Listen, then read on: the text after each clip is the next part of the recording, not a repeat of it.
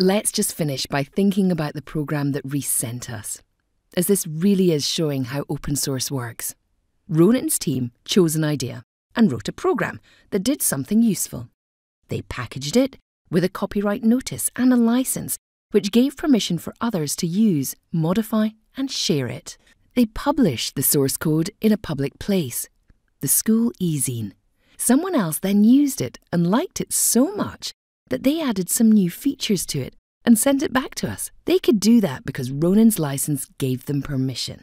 Ronan now has the modified source code of the program from Rhys, and Ronan could use the functions in new ways, perhaps using the light sensor instead of the tilt sensor they used, and publish it again. This circular movement of source code between different coding teams in different places who have never met is just how open source works.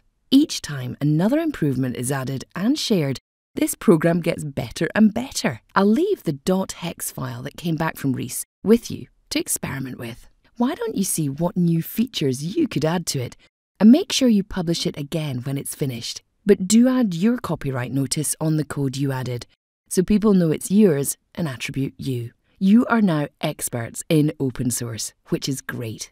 I wonder what you'll invent next. I can't wait to see what great ideas you come up with. Bye for now.